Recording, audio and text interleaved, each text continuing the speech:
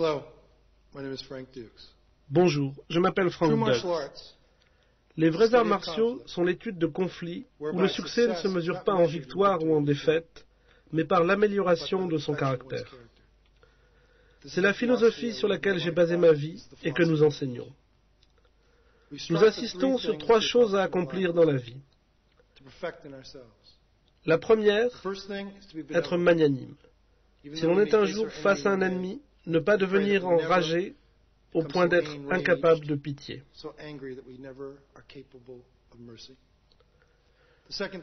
Le deuxième point, toujours avoir le courage de prendre de nouveaux risques pour se dépasser.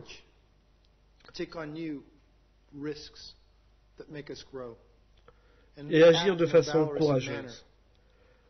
J'entends par là faire face à nos obligations. Troisièmement, agir de façon sage, grâce à la connaissance, pas à cause de nos émotions. La technique que je vais vous enseigner aujourd'hui est conçue dans un but et dans un but unique, une situation de vie ou de mort. Notre style est fait pour acquérir un sens de l'accomplissement, de la discipline, un sens du devoir parmi les corps d'élite, la police, qui affrontent le danger chaque jour et qui ont besoin d'un style d'une totale efficacité pour mettre fin à une agression très rapidement.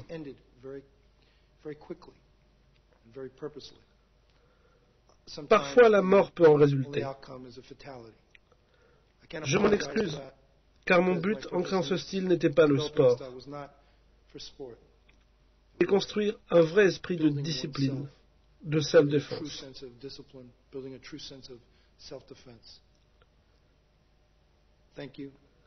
Merci.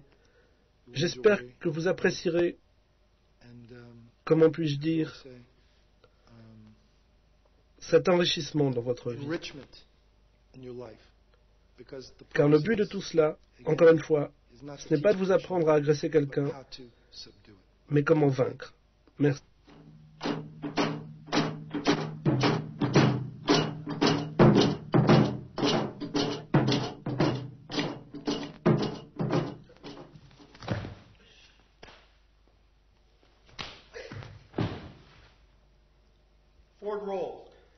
Les chutes avant, très important en combat.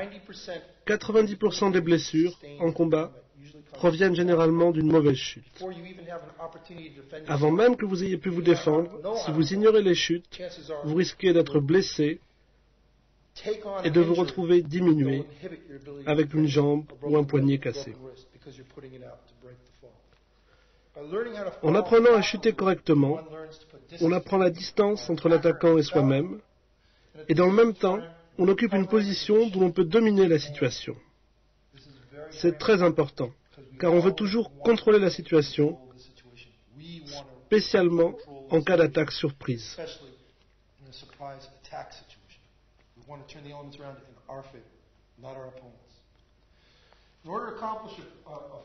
Pour accomplir une chute avant correcte,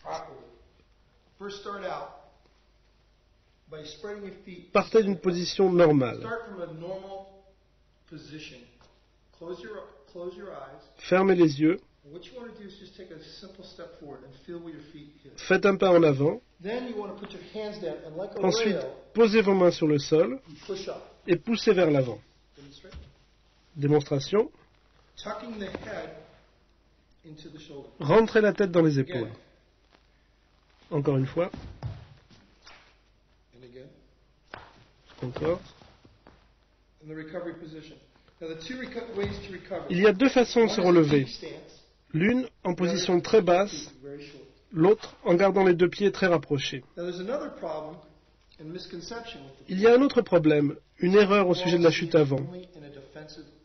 Certains la voient uniquement comme un moyen de défense, mais en réalité, pour un homme de son gabarit, la chute avant devient une arme très dangereuse. Une arme qui permet, en utilisant son poids de corps, de piéger l'adversaire et de l'amener au sol.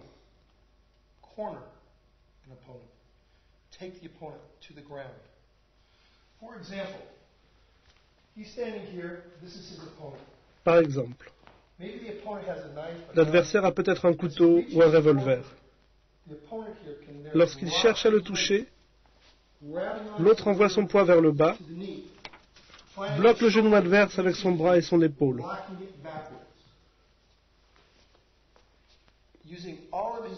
Utilisant tout son poids, il va faire basculer la jambe, renversant tout adversaire, spécialement un adversaire plus grand et plus fort.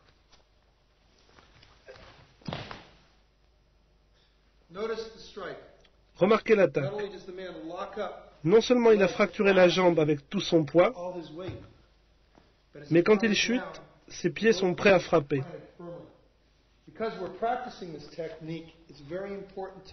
À l'entraînement, vous penserez bien à poser vos pieds de chaque côté de la tête. Mais dans la réalité, on vise le crâne.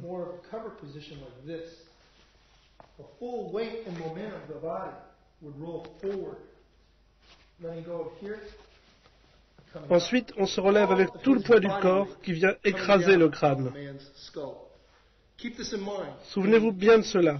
On a besoin seulement de 3,8 kg de pression pour faire éclater un crâne si celui-ci est coincé.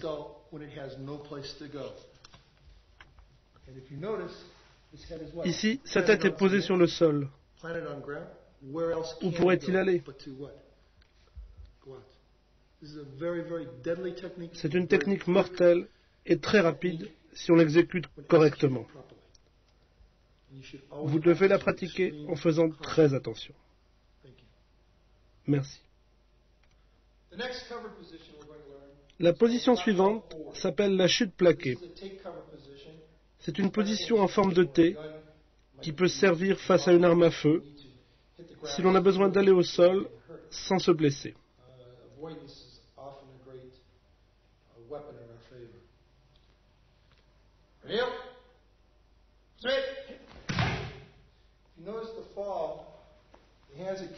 Remarquez les mains jointes en forme de triangle. On ne chute pas en avant, mais presque sur place, à très faible distance du sol. Si vous chutez en avant, vous risquez de vous briser les poignets. Autre chose à propos de cette position, non seulement elle absorbe le choc, mais le, milieu du corps est surélevé. C'est très important car on ne sait pas sur quoi on va chuter. Au Vietnam, durant les combats, beaucoup d'hommes se jetaient au sol et se sont fait empaler sur des poteaux disposés à cet effet. Avec ce type de chute, on a la possibilité de vérifier le sol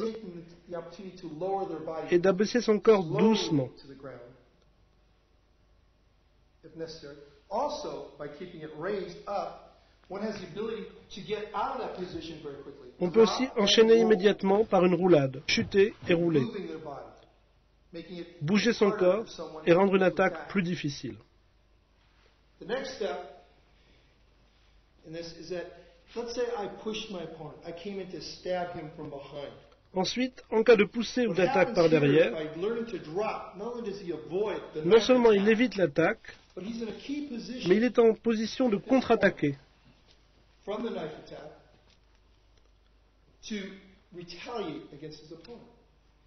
Contre une attaque au couteau, par un ciseau aux jambes.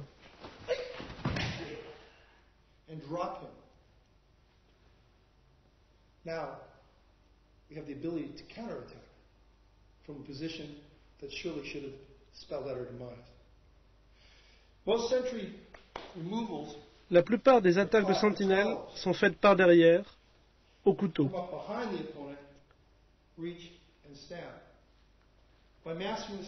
Avec cette technique, dès que vous sentez un début de saisie, vous chutez au sol et vous évitez l'attaque du couteau.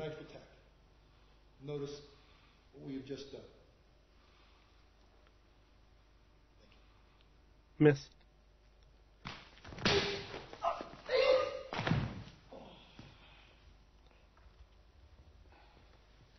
Ce que vous venez de voir, c'est la chute plaquée arrière. Cette technique sert à chuter en cas d'attaque surprise, de façon à aller au sol sans danger, sans se blesser et pouvoir contre-attaquer l'adversaire.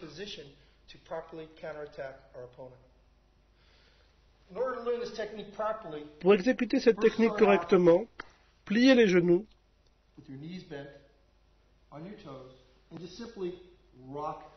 et roulez simplement en arrière. Le menton doit rester collé à la poitrine. Ne laissez pas votre tête aller en arrière. C'est comme ça que beaucoup de gens meurent après avoir été poussés en arrière.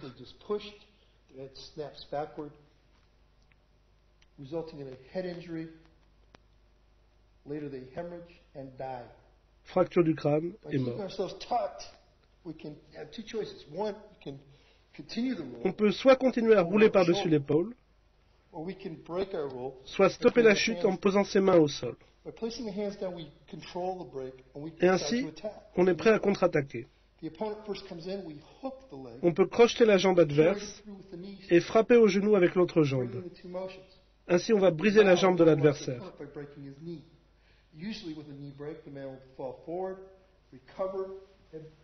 Ensuite, on peut enchaîner en frappant à la gorge. Puis on roule pour sortir de cette position, analyser la situation. Et s'il le faut, attaquer. C'est très important.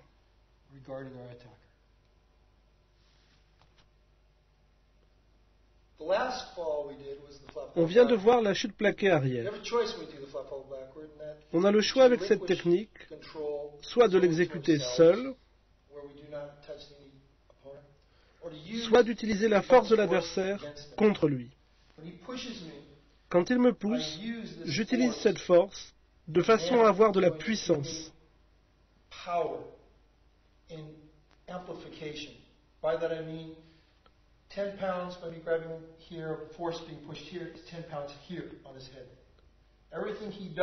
Tout ce qu'il fait finit par se retourner contre lui. Donc quand il me pousse, je saisis sa tête et je peux lui briser le cou. Je vais utiliser le poids de mon corps contre la force adverse. C'est bien mieux que n'importe quelle force musculaire, surtout si vous êtes faible, fatigué. Si votre adversaire est plus grand, plus fort que vous, c'est de cette façon que vous le vaincrez en utilisant sa propre force contre lui. Maintenant, en utilisant sa poussée, je le projette et durant la projection, je lui brise le cou. C'est aussi facile que de briser une allumette. Dans cette position, j'ai le choix. Je peux aussi continuer le mouvement et atterrir sur lui. Le genou sur ses parties, le coude est levé et prêt à frapper ou à écraser le crâne.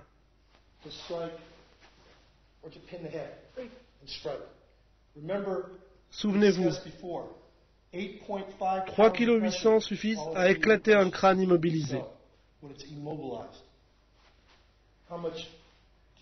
Combien pesez-vous? Assez pour éclater un crâne, je crois. Si l'adversaire a une arme, vous pouvez coincer son poignet avec votre pied et le frapper. Vous pouvez aussi lui tordre le cou sans le briser, de façon à le contrôler et à l'obliger à se rendre. Ce sera toujours votre choix. Soyez prudent car on ne peut rendre la vie une fois qu'elle a été prise.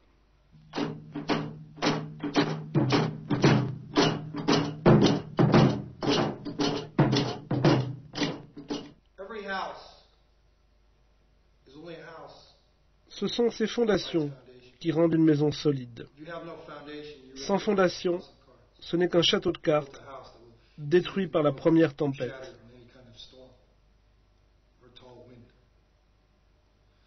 C'est la même chose pour un pratiquant d'arts martiaux. Si l'on veut réussir à battre l'adversaire, on doit avoir des fondations solides aussi bien en théorie qu'en pratique. Le secret du succès dans les arts martiaux, ce n'est pas la précision des techniques de main, mais l'efficacité de vos positions et de votre déplacement.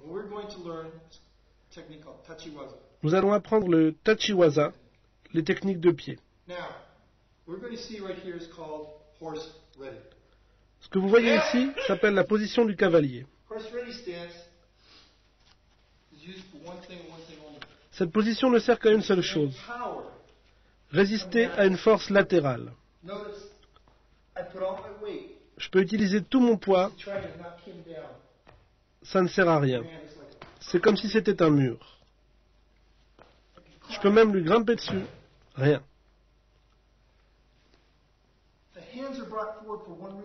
Les bras sont disposés vers l'avant pour une seule raison. Résister à une saisie arrière. Sinon, je pourrais facilement l'immobiliser. Mais avec la position du cavalier,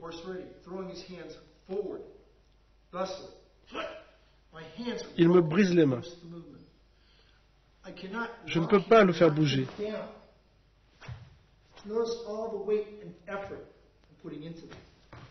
Rien. Rien à faire.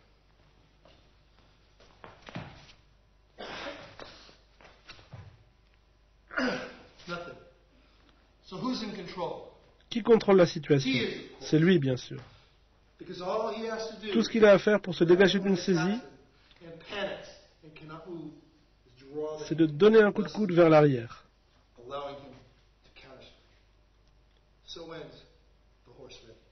Voilà la position du cavalier.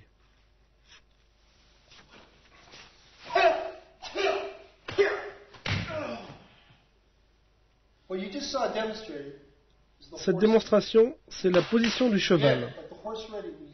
Comme dans la position du cavalier, les pieds sont parallèles, les genoux vers l'extérieur.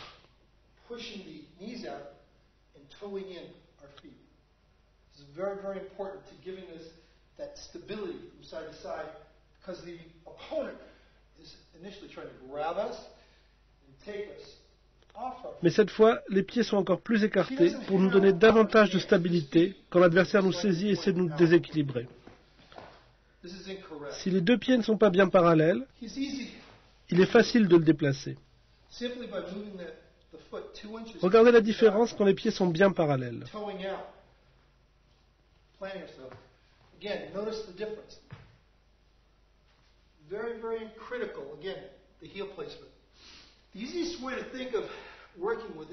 Un bon truc pour bien s'en rappeler,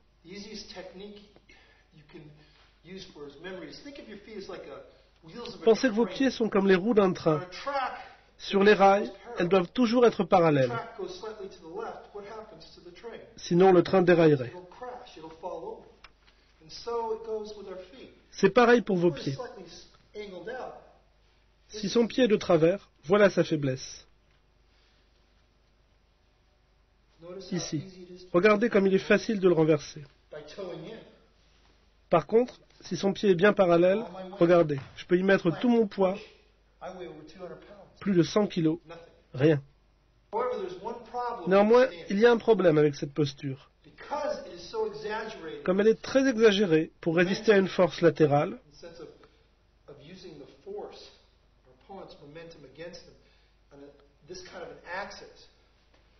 elle est très vulnérable à une poussée de face. C'est pourquoi on n'utilise pas comme une position de combat, mais comme une posture intermédiaire pour bloquer une attaque adverse avant de porter une contre-attaque.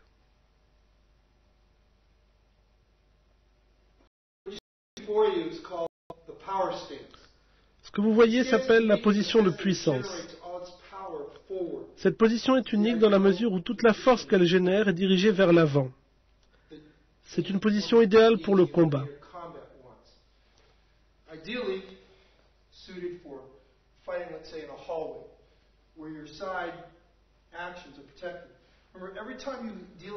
Comme toujours lorsqu'il s'agit d'extrêmes, elle génère une extrême faiblesse. Par exemple, cette position est très forte de face, mais très vulnérable de côté. Vous devez garder cela à l'esprit en attaquant. Ainsi, si votre attaque est exagérée,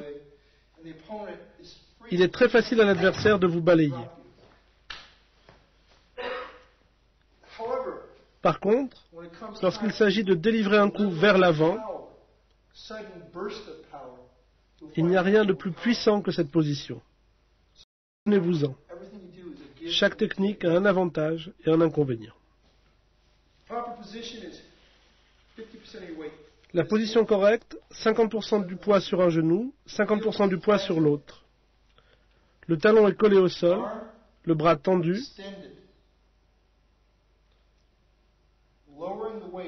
En jouant sur la hauteur, vous pouvez moduler la puissance du coup que vous allez donner.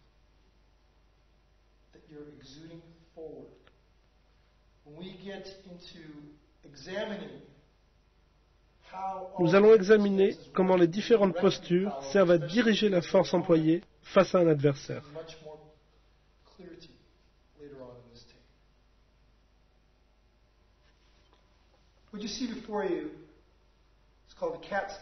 Nous allons voir à présent la position du chat. Cette position sert à délivrer une force dans un plan vertical, vers le haut ou vers le bas. Par exemple, si je veux donner un coup de coude vers le haut avec un maximum de force,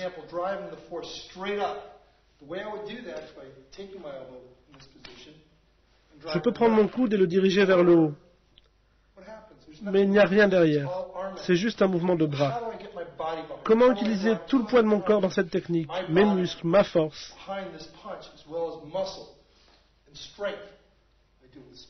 avec vitesse, agilité et ceci. La position du chat. Et vers le bas, c'est la même chose. Il est important de comprendre que cette posture sert à transmettre une force dans un plan vertical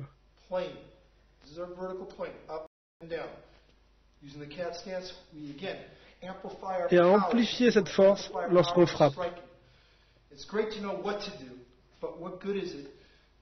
Vous pouvez connaître toutes les techniques du monde, mais si vous ne savez pas comment délivrer un coup puissant, cela ne sert à rien. Tout vient des pieds.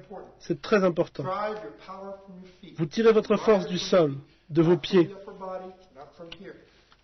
Pas du torse, pas des bras. Si vous voulez frapper comme un vrai boxeur, ça vient de la hanche, puis de l'épaule et du bras.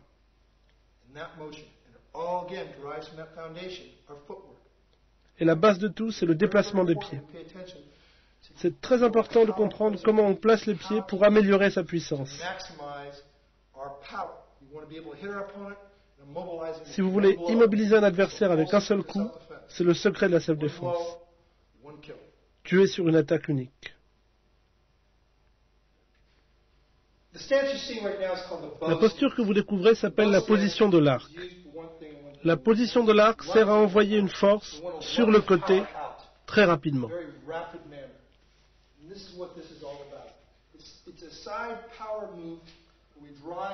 On envoie la force sur le côté et on revient à sa position initiale.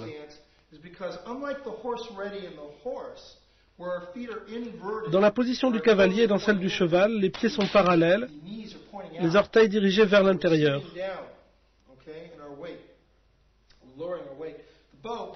À l'inverse, dans la position de l'arc, les orteils sont dirigés vers l'extérieur, genoux écartés.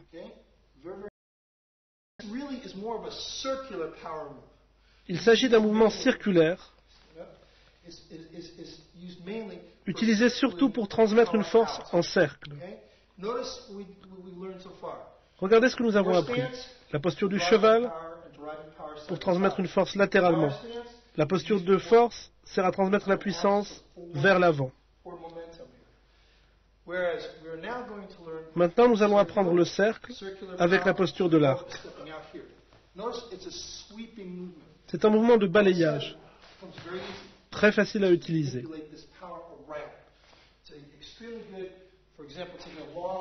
Cela sert aussi à frapper une cible dans un mouvement circulaire. C'est la même chose pour un coup de pied retourné. Si vous regardez la position des pieds, il s'agit de la posture de l'arc.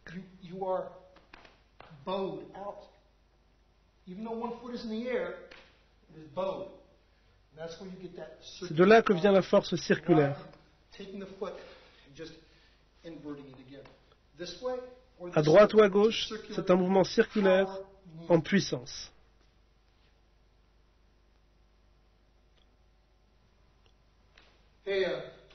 S'il vous plaît, ne me faites pas de mal. Vous venez de voir une attaque au garrot, très célèbre en France, où elle a été inventée. Si vous ne connaissez pas la posture de défense contre cette attaque, vous serez une victime facile.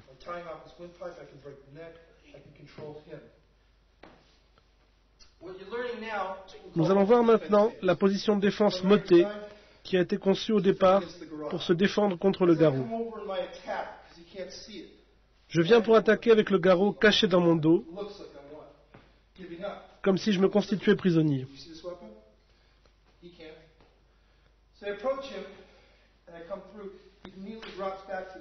Il descend sur ses jambes en prenant la position. Ce qui se passe, c'est que je suis coincé maintenant. Même si je tire de tout mon poids, je n'arrive pas à le décoller. De là, il peut passer à la position de puissance et m'envoyer au sol avec toute sa force.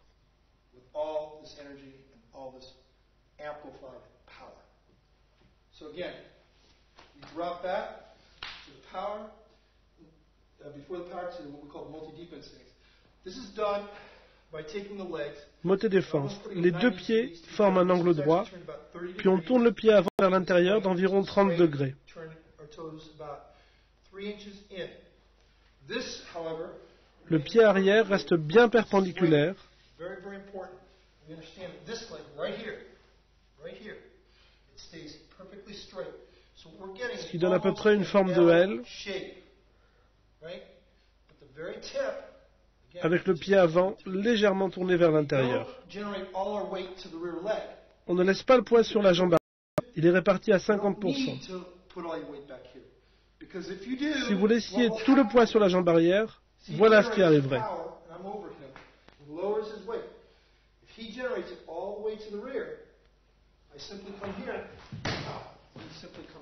Il finirait au sol. Donc on garde le poids au centre.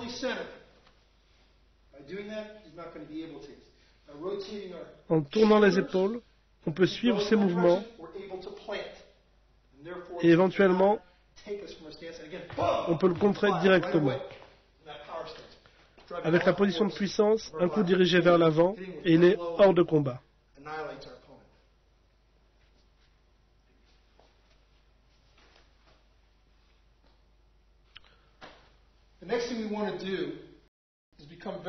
Je vais vous montrer maintenant comment utiliser ces postures de façon réflexe. Elles doivent devenir une seconde nature. En cas d'attaque, vous devez les utiliser sans réfléchir. Nous devons pouvoir les utiliser de façon à retourner le poids de l'adversaire contre lui. C'est le secret de la véritable puissance. Utiliser le poids de l'adversaire contre lui.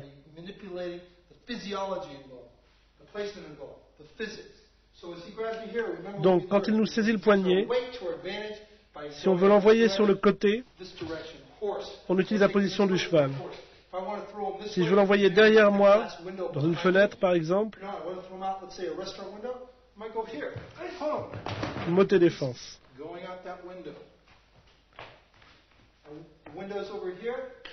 Sur le côté, encore le cheval. Dans un angle, balayage avec la posture de l'arc. Je ne fais pas d'effort. Je n'emploie pas de force. Tout vient de mon déplacement.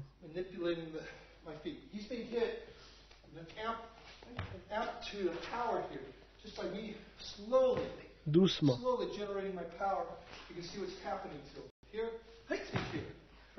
C'est très simple. Ok?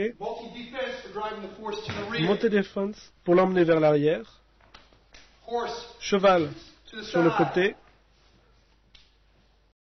Vers l'avant. La position de puissance.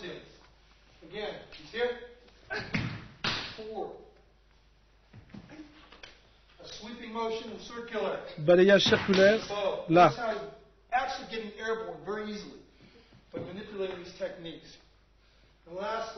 Enfin, en dernier, le chat, pour l'amener au sol, au contraire, vers le haut.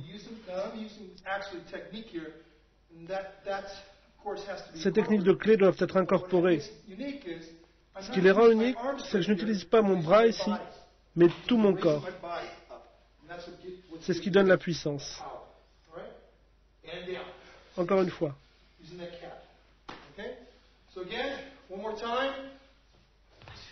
Sur le côté cheval, vers l'arrière, moté défense, vers l'avant, position de force, balayage, l'arc.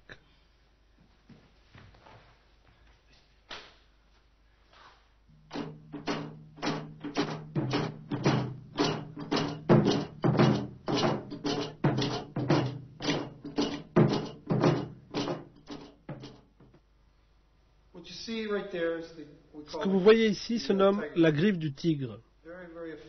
Très efficace. En apprenant à combattre, il ne faut pas compter que sur les poings. Parfois, on ne peut pas les utiliser.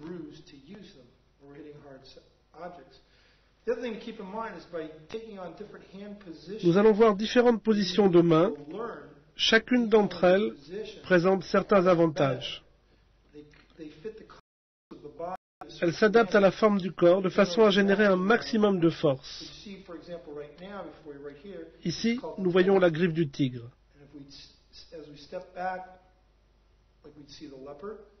Ensuite, le léopard, la lance,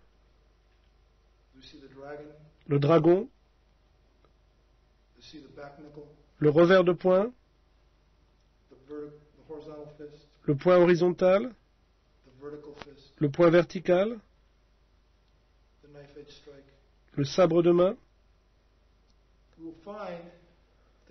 Nous allons voir que chacune de ces armes amplifie notre puissance, la multipliant par deux ou trois.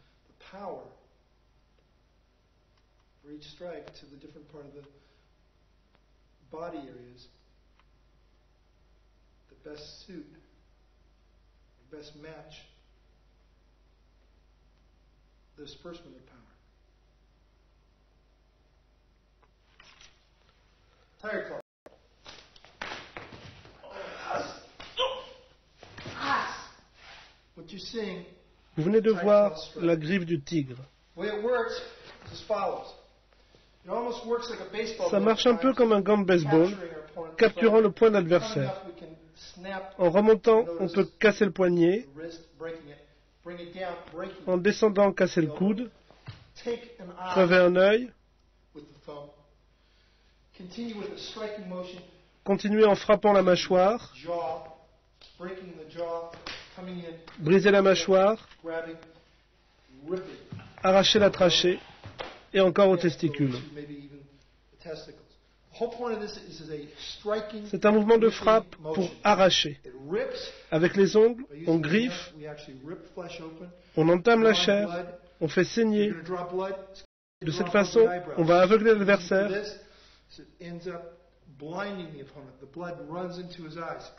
lui faire peur, lui faire perdre le contrôle de la respiration.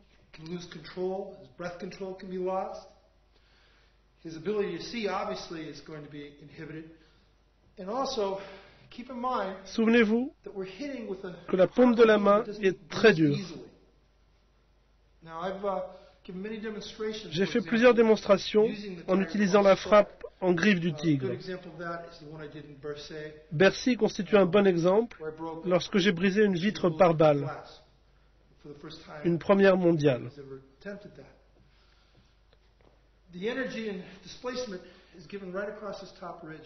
Une première zone de frappe est située sous les doigts.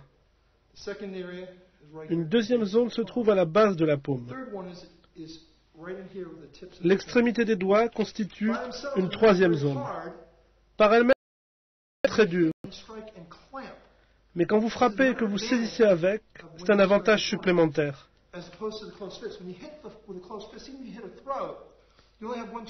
Si vous frappez à la gorge avec le poing, vous n'avez d'autre choix que de ramener le poing. Alors que si vous frappez en griffe du tigre, vous pouvez avec la même puissance sentir votre adversaire. Enchaîné par un autre coup, lui arracher la gorge. N'oubliez pas, ce style n'a pas été conçu pour autre chose que la seule défense, en situation de vie ou de mort.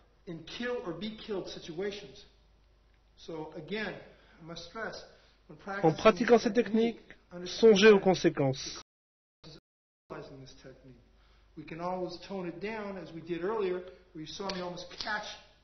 Comme on l'a vu tout à l'heure, je peux saisir son poing, casser son poignet, son bras, l'immobiliser. Je peux facilement saisir sa gorge et le tenir. Je n'ai pas besoin de l'arracher.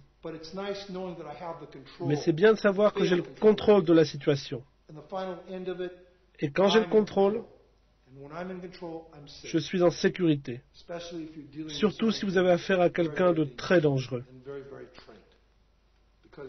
Parce que, soyons honnêtes, vous n'êtes pas le seul sur Terre à vous entraîner.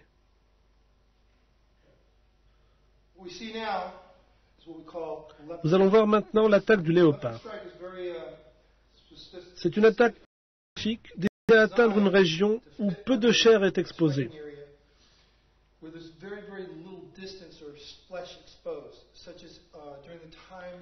À l'époque où les samouraïs portaient une armure, il y avait une zone d'environ 4 cm où la gorge n'était pas protégée, sous le casque. Il fallait bien qu'il puisse tourner la tête. Le coup du léopard était destiné à frapper juste sous le casque.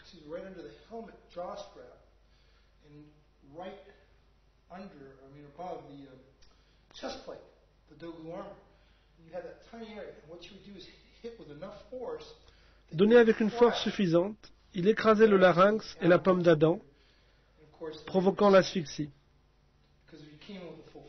Avec le poing, on se serait brisé la main. De nos jours, on peut utiliser ce coup face à un motard portant un casque intégral.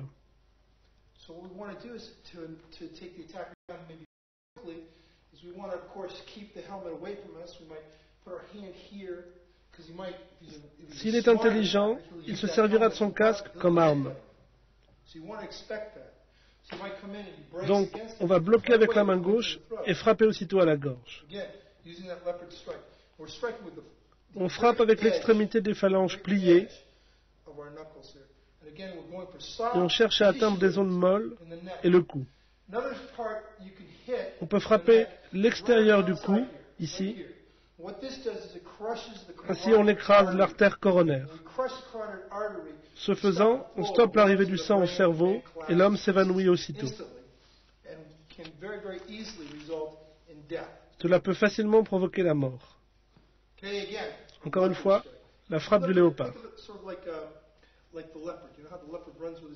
Pensez à un léopard qui court. Certains croient qu'on attaque avec la paume, car ils n'ont pas bien vu le mouvement.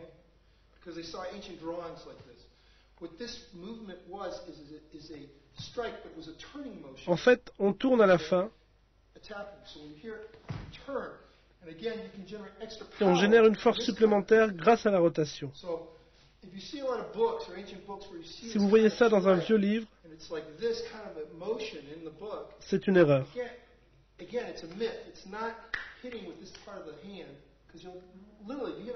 Si vous frappez quelque chose de dur, vous allez vous briser les doigts.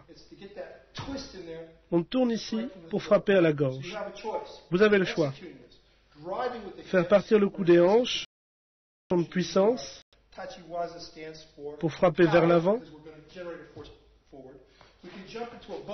ou frapper en position de l'arc avec un mouvement circulaire. C'est l'instant parfait pour tourner au final et donner une puissance supplémentaire au coup. Ce coup génère une puissance incroyable. Beaucoup de gens l'ont oublié ou ne réalisent pas à quel point c'est efficace pour attaquer des zones molles.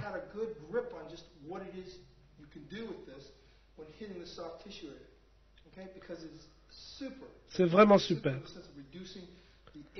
En diminuant la surface de frappe, on augmente la puissance du coup. Pour l'optimiser, on doit y incorporer le déplacement, soit l'arc, en tournant les hanches et en frappant comme un fouet très vite. On écrase la trachée, ou on stoppe le sang au cerveau, ou du cerveau au cœur. Ce que vous voyez, c'est la saisie du dragon, très similaire à l'aïkido.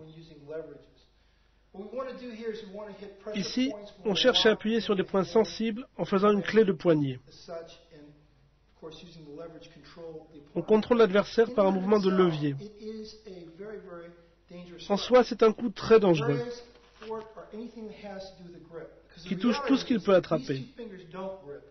En réalité, on saisit avec le majeur et l'annulaire. Et quand j'attrape son poignet, il essaie de se dégager contre mon pouce. Il ne peut pas y arriver, tellement cette prise est forte.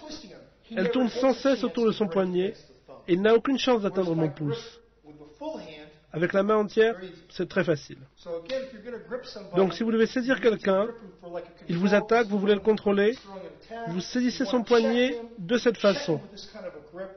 S'il essaie de se dégager, vous pouvez le manipuler facilement. Avec l'autre main, je peux dans le même temps attaquer ses points vitaux. Les doigts dans les yeux, attaquer la gorge avec le pouce, sous le menton.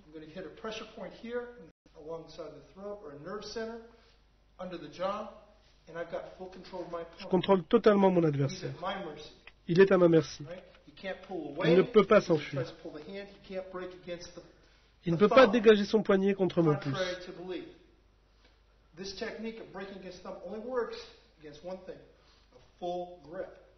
Seule une saisie à pleine main le permet. Peu de gens le comprennent. C'est un mouvement continu. Dès que je sens sa pression contre mon pouce, je tourne ma main et il ne peut jamais se libérer. Et quand il le fait, regardez.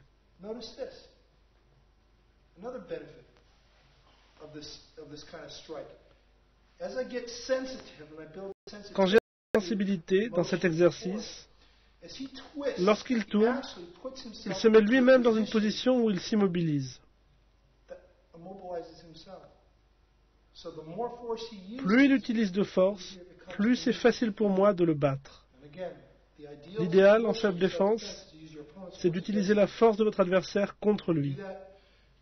Ce faisant, vous le réduisez à l'impuissance.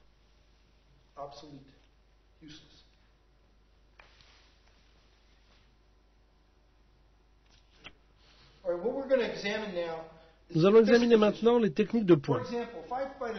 Par exemple, en combat, si je frappe un homme de cette façon, le point horizontal, vous savez ce qui arrive physiologiquement Quelle partie de son corps est affectée?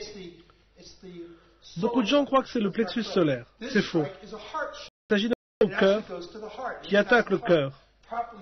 Bien exécuté, ça peut provoquer une crise cardiaque, endommager une valve.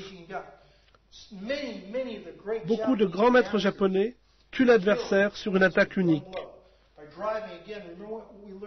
Vous vous rappelez du Tachiwaza, du déplacement? Un coup, un déplacement, un mort. Boum. Encore une fois, pour faire pénétrer la force, position de puissance.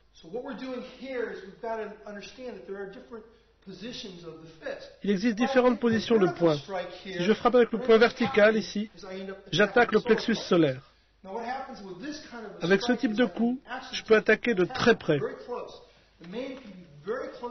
Il peut être tout près de moi. Je n'ai pas besoin de chercher le coup. C'est comme le coup de poing sans recul que Bruce Lee a rendu célèbre.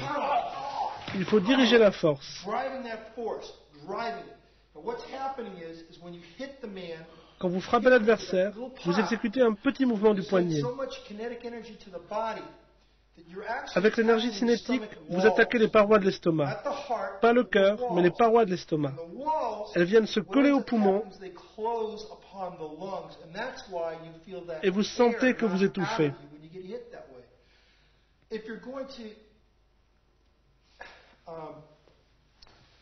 Si vous voulez immobiliser l'adversaire, vous devez comprendre ce qui se passe quand vous l'attaquez.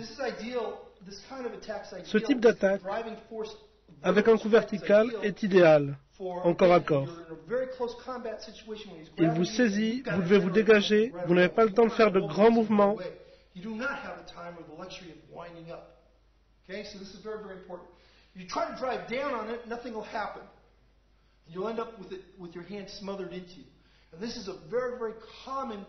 C'est un problème qu'on voit souvent avec les pratiquants d'arts martiaux. Ils essaient de frapper comme ils l'ont vu faire au cinéma. C'est mauvais. Vous devez frapper de bas en haut. La force, comme toujours pour un coup de poing, vient de la hanche, de l'épaule et du bras.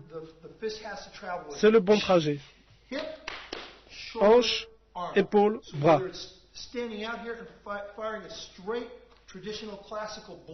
Une attaque classique, la hanche tourne,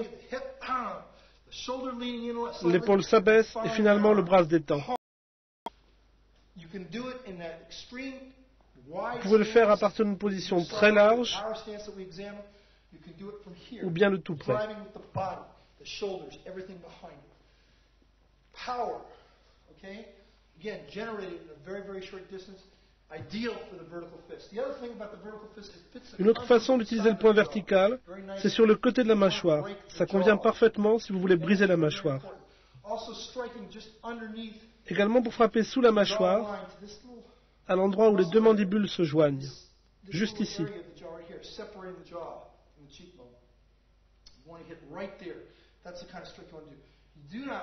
Vous ne frapperez pas comme ça. Regardez bien, là je le rate complètement.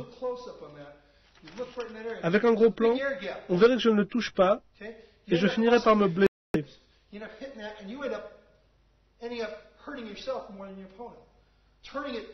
Juste en tournant le point, vous pouvez mettre KO l'adversaire, l'immobiliser, lui briser la, la mâchoire. Comme ça, rien. Comme ça, des dommages sérieux.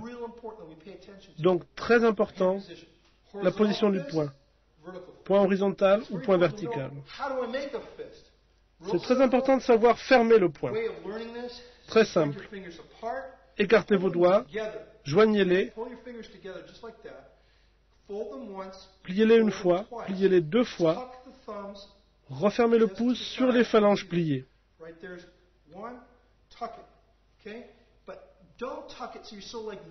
Ne vous contractez pas, vous tremblez. C'est incorrect.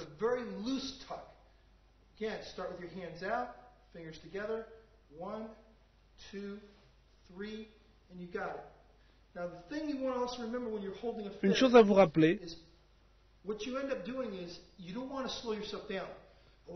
beaucoup de gens en garde sont très lents avec leurs poings. Ils ne comprennent pas pourquoi. La raison, en fait, est musculaire. Il y a deux systèmes de muscles, antagonistes et protagonistes. L'un pousse, l'autre tire. Donc il faut garder ces muscles relâchés si on veut pouvoir frapper vite. Restez relax.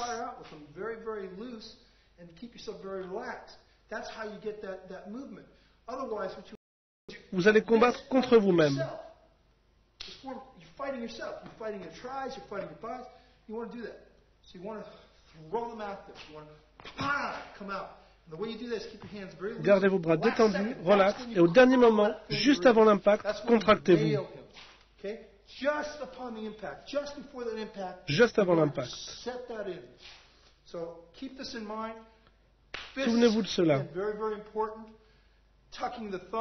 Très important, refermez bien les pouces sur les phalanges. S'ils sont sur le côté du poing, comme ça, ou même comme ceci, je l'ai vu en compétition, ceux qui le font finissent par se casser le pouce. Souvenez-vous, vous combattez un être humain qui bouge, qui pense. Et qu'est-ce qui se passe si vous le manquez Il revient et vous casse le pouce. Bien sûr, nous ne voulons pas de ça. Encore une fois, gardez les pouces repliés, soyez détendus et au dernier moment, contractez-vous à l'impact. C'est ainsi qu'on obtient la vitesse. Ce que vous voyez à présent, c'est le héron. Traditionnellement, dans certains styles, ils attaquent juste comme ça. Mais à moins que vous soyez prêt à passer des années à vous entraîner pour durcir vos doigts, la façon la plus simple d'utiliser un objet, un stylo, une baguette, c'est la position idéale car vos doigts supportent l'objet. Si vous le teniez ainsi, il risquerait de casser. Et il casserait avant que vous ayez pu porter votre attaque.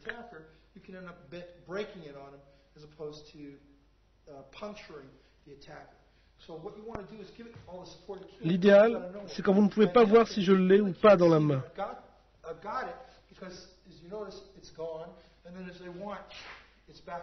C'est parti, c'est revenu. C'est l'idéal quand vous êtes face à votre adversaire.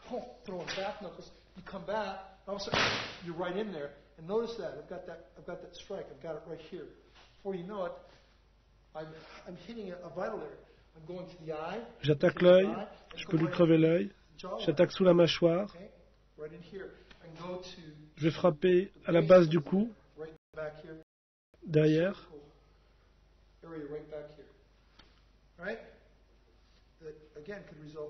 Là encore, ça peut être mortel. La plupart des gens ne réalisent pas à quel point un stylo peut être dangereux. Ici, par exemple, c'est très facile.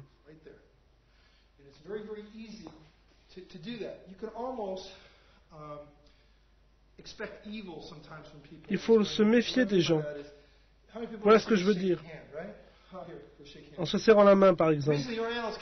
C'est pourquoi les orientaux préfèrent une courbette. On peut très facilement prendre l'avantage sur un adversaire en lui serrant la main. Par exemple, je viens pour lui serrer la main, il tend son bras, je le contourne en saisissant sa main, et je vais frapper l'artère sous-clavière.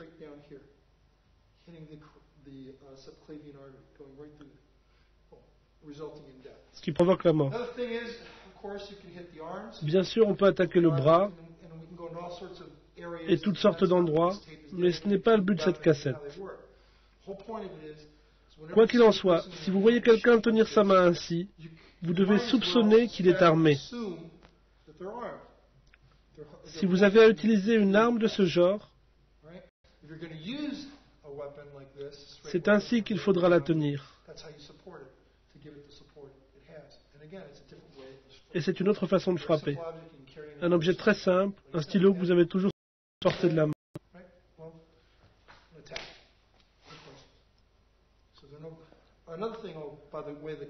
Autre chose à propos du héron, vous pouvez attaquer en haut et hop, vous attaquez en bas, par en dessous. Facile et intéressant, une attaque circulaire, extérieure, intérieure. Par exemple, il me bloque en haut ici. En fait, il m'aide à frapper en bas. La frappe du héron permet de feinter l'adversaire et de l'induire en erreur. Je frappe dans sa jambe ou au parti.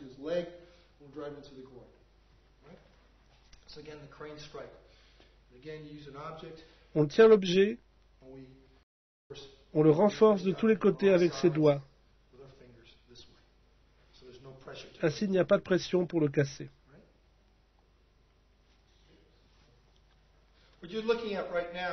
Voici à présent le chuteau ou sabre de main. Son utilisation idéale rejoint celle du léopard. Il est destiné à attaquer successivement des parties vulnérables du corps humain.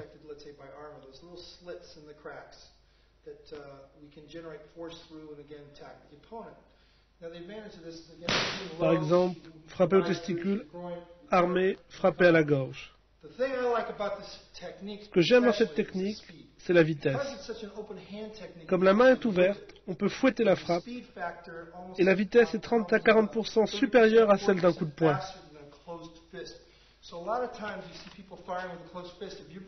Les gens se battent souvent à coup de poing. Si vous êtes un peu lent ainsi, vous devriez songer à changer de posture et à travailler main ouverte. Si vous apprenez à générer une rotation du bassin, vous pouvez donner une force incroyable à cette technique. C'est parfait pour frapper sous la mâchoire, à la gorge et aussi à la nuque.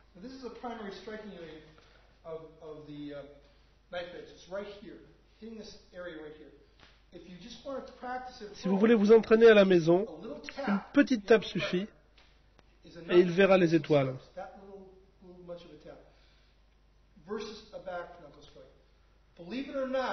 Croyez-le ou pas, en frappant ainsi, vous prenez le risque de vous blesser, car la tête est très dure. Vous pouvez vous casser la main. Alors qu'avec le tranchant, si vous frappez trop, la main peut revenir pour un étranglement.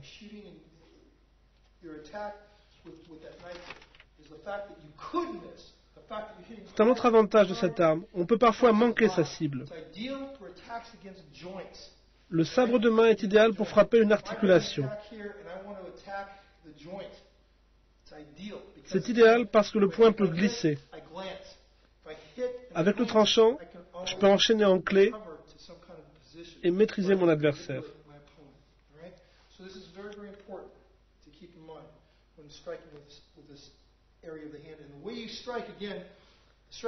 La surface de frappe, ce n'est pas l'extérieur de la main, ça fait vraiment trop mal.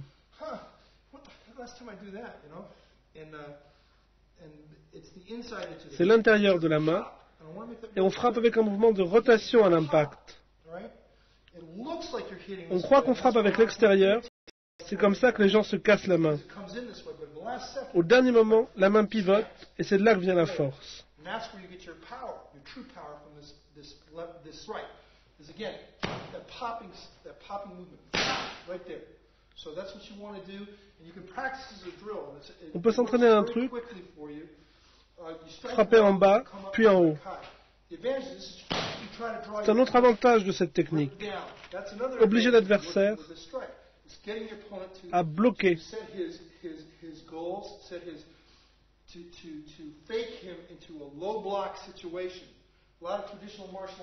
Dans beaucoup de styles traditionnels, l'adversaire va abaisser son bras pour bloquer. Vous pouvez frapper directement au visage.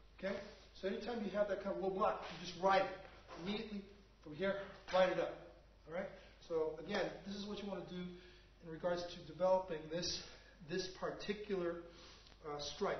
Again, hitting with the inside edge of the hand here. Very, very deadly. Okay, because of the small. Remember something. Souvenez-vous de ceci. Plus la surface de frappe est petite, plus la force du coup est amplifiée.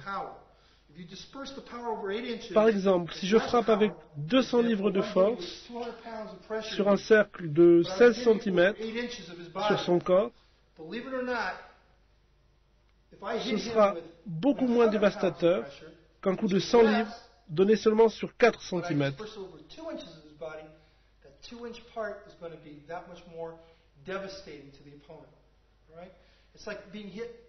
C'est la même différence entre être frappé avec un pic à glace et un marteau. On veut envoyer une force à travers son corps. On veut atteindre les organes.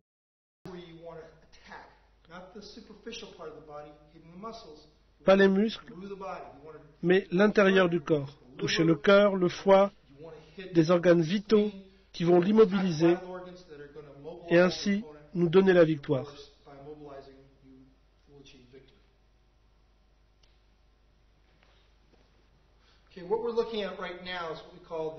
À présent, la paume de la main. Dans la griffe du tigre, les doigts sont écartés. Ici, au contraire, ils sont réunis et la main forme un L afin d'accentuer les muscles de la paume de façon à s'adapter à la cible. Celle-ci peut être la mâchoire, de bas en haut, et aussi les organes internes du corps. Si je frappe comme ça, ça n'est rien d'autre qu'une poussée.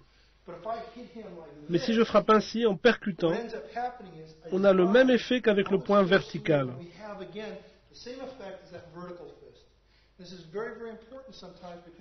Ça peut servir, par exemple, si vous avez la main cassée.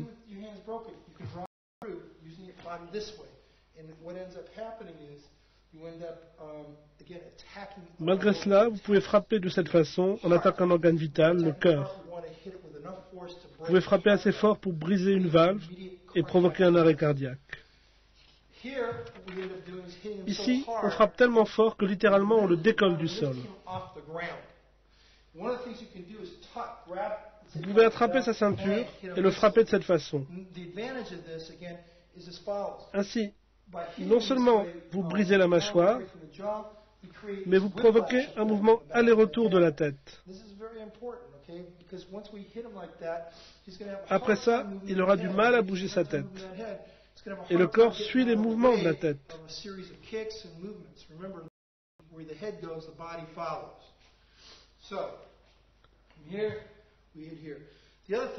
Autre chose, on percute avec la paume et la main revient. Ce n'est pas une poussée. Sinon, ça devient le tigre. Dans la griffe du tigre, les doigts sont écartés. Alors que dans la frappe de la paume, ils sont joints.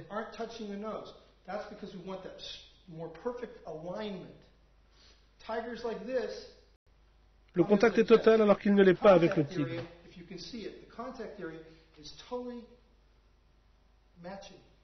Whereas in the tiger, it's not. See the space in here? I can put my finger in here. Whereas here, hits that whole forward edge of the jaw, shattering the jaw, shattering the, the bottom bridge of his teeth. If he's si ce n'est pas un combattant expérimenté et qu'il a la bouche ouverte, il y a des chances pour que vous lui coupiez la langue en frappant.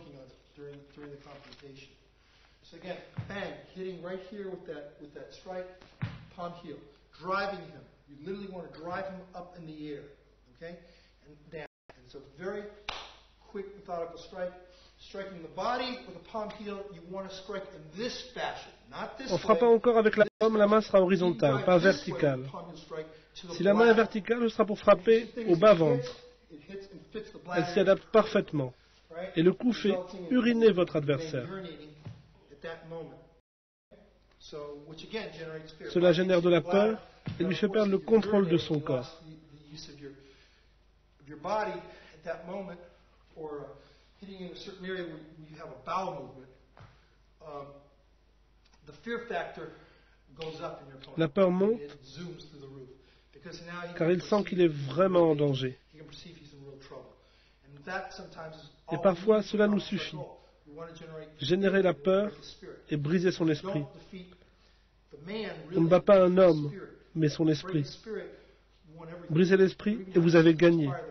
parfois sans même devoir combattre. Ces techniques sont si dévastatrices, bien exécutées, adversaire. increasing his fear level. When his fear level is increased, Là, nous sommes dans la prévention. On peut prévenir une attaque, car il sera tellement effrayé qu'il s'enfuira ou qu'il hésitera à attaquer. Et hésiter dans ce genre de situation revient à méditer horizontalement.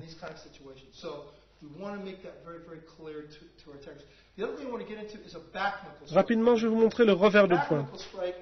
Le revers de poing est un mouvement fouetté du poignet.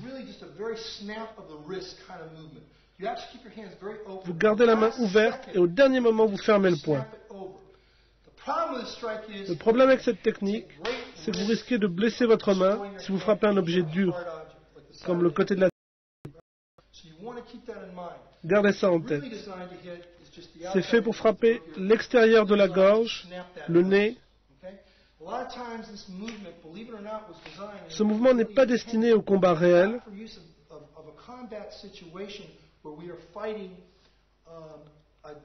mais plutôt, par exemple, pour lutter contre un ivrogne. Si un ivrogne vous importune, voilà la technique pour vous en débarrasser.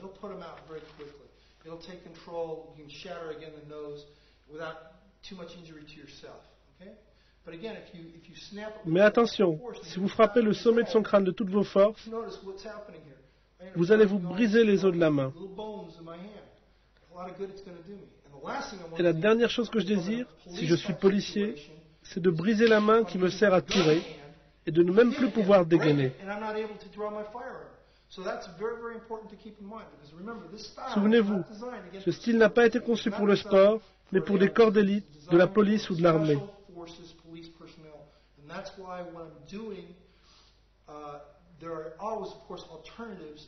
Il y a d'autres techniques qui servent à contrôler un adversaire. Ce que je démontre ici est valable dans une situation de vie ou de mort, tuer ou être tué. Il s'agit d'un combat à mort. et il n'y a pas d'autre choix.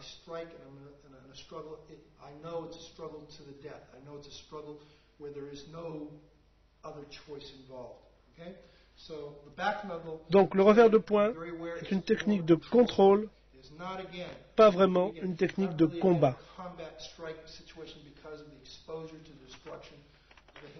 Car la main est trop exposée au danger. Ce que vous pouvez faire cependant, c'est attaquer en revers de poing et finir en frappe du marteau. On frappe avec le dessous du poing. En bas, puis en haut, en revers et en marteau. Avec le revers de poing fouetté pour casser le nez et c'est tout.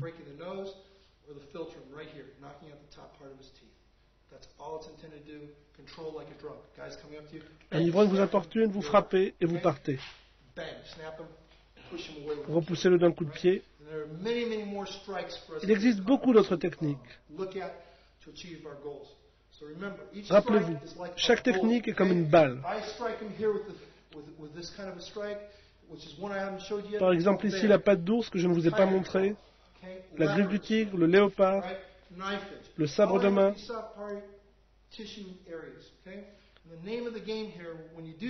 Quand vous frappez, il y a trois cibles privilégiées. D'abord les yeux, les genoux. En frappant ces cibles, vous brisez le timing et le rythme de l'adversaire. Ce faisant, vous prenez le contrôle de la situation. Vous pouvez lancer vos attaques, le déséquilibrer, vous échapper.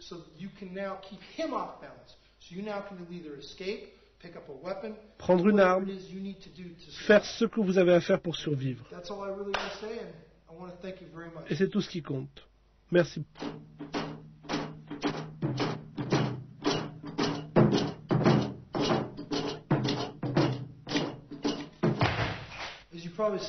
Au premier coup d'œil, on ne voit pas la lance. Très facile à cacher. C'était l'arme favorite des ninjas. Une secte particulière de la région de Matsuda. Ils étaient célèbres pour tuer les samouraïs à la lance. Souvent, ils se cachaient dans le toit et quand le samouraï arrivait, il lui transperçait le crâne.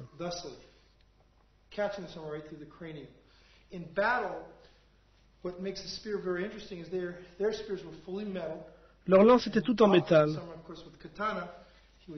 Et souvent, ils frappaient violemment le katana du samouraï, brisant parfois la lame du sabre. Et le samouraï se retrouvait désarmé. And this is very, very important to keep in mind because when they shattered these blades, of course, the man was rendered, rendered uh, unarmed, and of course, they were able to run through. The advantage of the spear is as follows. La lance a de nombreux avantages. On peut frapper un cheval, et même un cheval qui charge, uh, uh, et tuer le samouraï. C'est une lance courte, facile à dissimuler sur soi, ou dans une béquille sans attirer l'attention.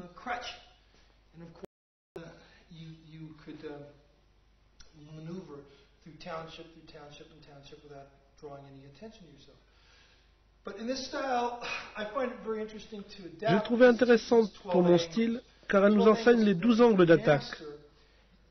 Si vous maîtrisez ces douze angles, vous pourrez vous défendre instinctivement en cas d'attaque. Par exemple, voici un angle 2, 3, 4, 5, 6, 7, 8, 9, 10, 11 et 12.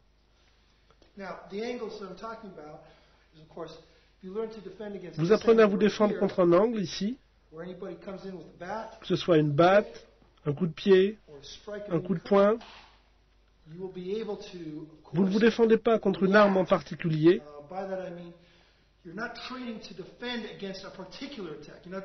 Mais contre un angle d'attaque.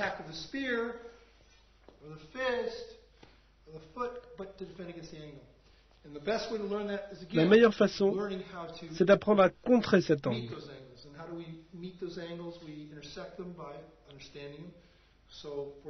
Par exemple, face à un coup de pied, je peux avoir cette arme, ça pourrait être un bout de tuyau aiguisé. Quand il frappe, je lui brise la jambe. et j'enchaîne au corps.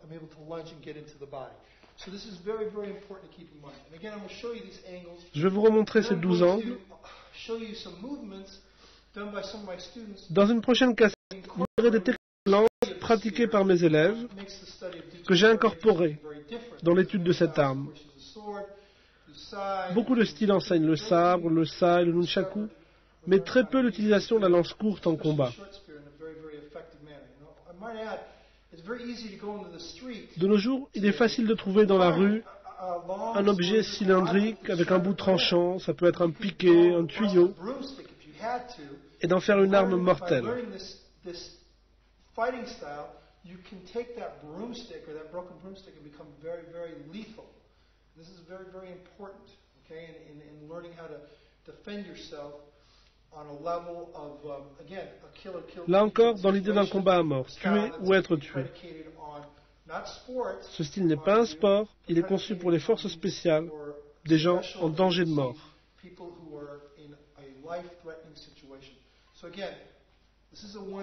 Voilà une première frappe, une deuxième, un blocage, frappe 3, blocage, frappe 4, blocage, frappe 5, 6. Vous pouvez frapper avec le tranchant externe, avec le manche, avec la lame, à toute volée, et ça vous donne une extension bien supérieure à celle d'un sabre. C'est un autre avantage de la lance courte.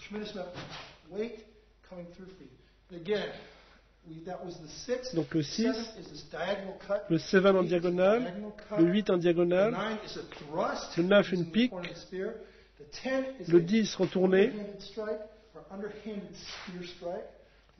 le 11 une frappe verticale. De dos, ça donne ceci. En haut et en bas. Encore.